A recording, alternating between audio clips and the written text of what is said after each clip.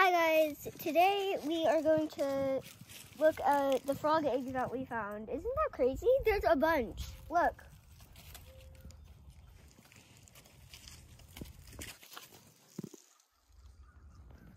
And we wait.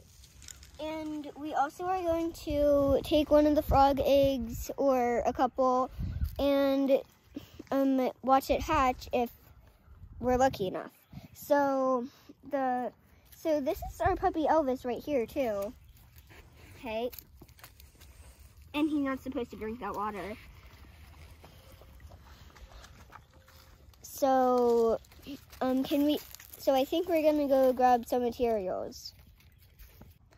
We're back and we have a bucket and ladle, so I think it's time to scoop the frog eggs. Okay. Ah!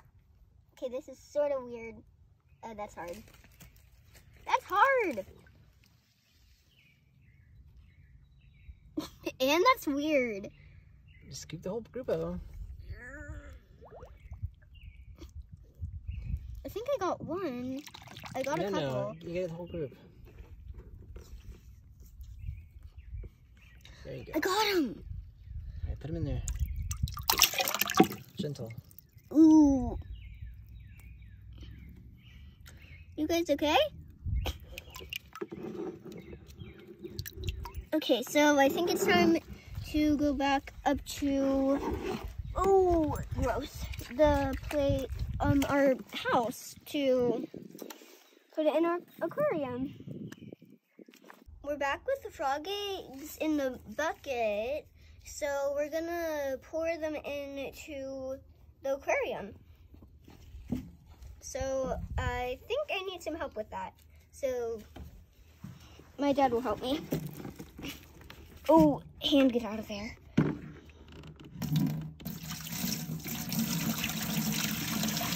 Where's all the tadpoles going? Oh, they're all at the top, I think.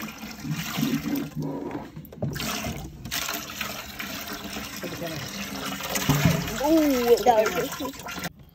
Look at that.